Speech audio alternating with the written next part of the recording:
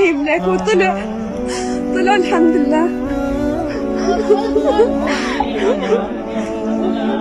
الحمد لله وحد عمالك يلا الله يوفقك.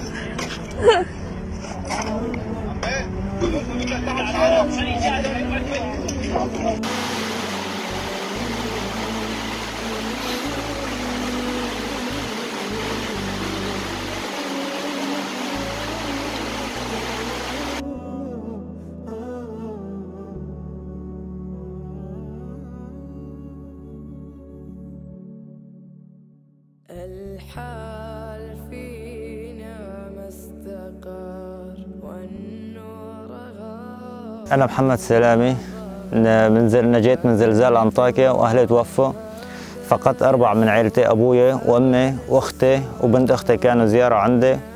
وبيت جدي أربعة ستة وولاد خالي الاثنين وفي بنت يتيمة كمان الله يرحمهم فقدناهم زلزال أنطاكيا وأنا جيت لهون قاعد عن بيت عمي قاعد عن بيت عمي أنا وأخوي.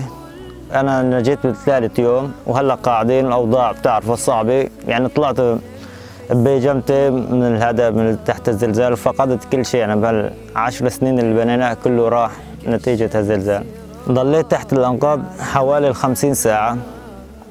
اجى اخويا صار كان برا بيشتغل شغل آه، بسوق الهال شغل ليلة. اجى الصبح أول يوم يصيح يصيح ما حدا يرد عليه. لتاني يوم اجى آخر النهار صار طلع عرف بيتنا لأنه البيت ما بقى ينعرف أي بيت إلنا بالبنايه سبع طوابق. صار يطالع شوي بالاغراض يصيح محمد محمد قمت رديت عليه أنا هون. اجى هو ورفقاته وفريق الانقاذ لحتى ضل تقريبا شي خمس ساعات لحتى وصلوا لي وأغلب العالم بالبنايه وأهل هذا كلهم توفوا على الدرج كانوا نازلين على الدرج.